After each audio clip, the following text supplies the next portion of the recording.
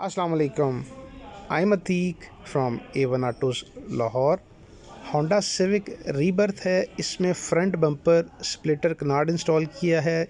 Glossy black colour में और four piece का सेट है। अभी अपना ऑर्डर प्लेस करने के लिए हमारी वेबसाइट विज़िट करें A one autos dot com या हमारा आउटलेट विज़िट करें मोंटगमरी रोड लाहौर